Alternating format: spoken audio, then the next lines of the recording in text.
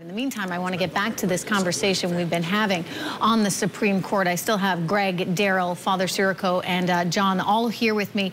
You know, we were talking about whether or not, Daryl, we would actually see businesses, uh, you know, utilize this ruling, and might we actually see a reduction in terms of health benefits as a result? Your take? Uh, there will be companies that are going to deny birth control coverage to their employees, but I think this decision is bad from a governance standpoint.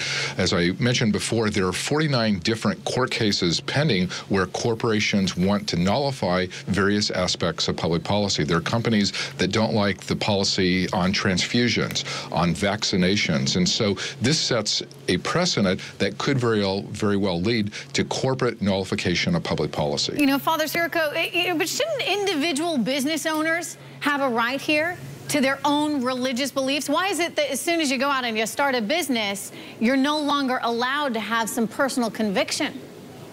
That's precisely what the court has ruled in this case in two respects. It, it doesn't make the distinction between a person's religious conscience and then that person organized uh, in a corporation.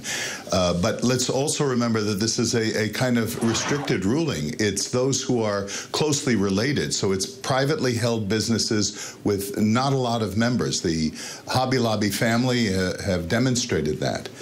So, I mean, so that's uh, one of the differences here, right? I mean, this is a privately yes. held company as opposed to a publicly held company. Uh, and, and Greg, uh, if you're still with us, explain the significance of that. I mean, they're talking about companies here that are held by, you know, a, a small group of individuals as opposed to many stock shareholders.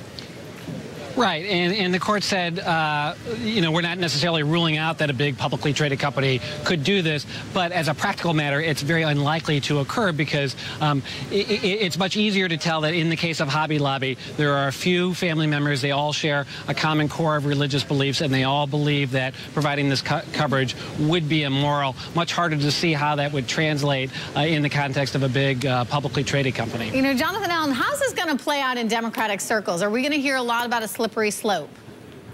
Absolutely. I think what you're going to hear going forward is Democrats making the argument that the Supreme Court is now engaged in a war on women, much like you have heard them talking about Republicans in Congress being engaged in that war on women, in particular, uh, not just with the Hobby Lobby case, but with another one today uh, involving home health care workers. I think they see women as being uh, the victims of a Supreme Court decision here, uh, in particular with regard to Hobby Lobby not being able to access contraception uh, for, for the reduced rates that you would get by having it insured through your health insurance program. Yeah, and this is very much, uh, you know, part of the argument that Ruth Bader Ginsburg uh, made, and I think we have a full screen quote from her, uh, what she actually wrote on this, if we can bring it up. Um, take a look here. Religious organizations exist to foster the interests of persons subscribing to the same religious faith. Not so for for-profit corporations. Workers of those corporations commonly are not drawn from one religious community. Um, so concern here that it, it really is going to be a slippery slope that's going to have a big effect on many, many people. Are those uh, concerns perhaps a little over overblown, Greg? Greg?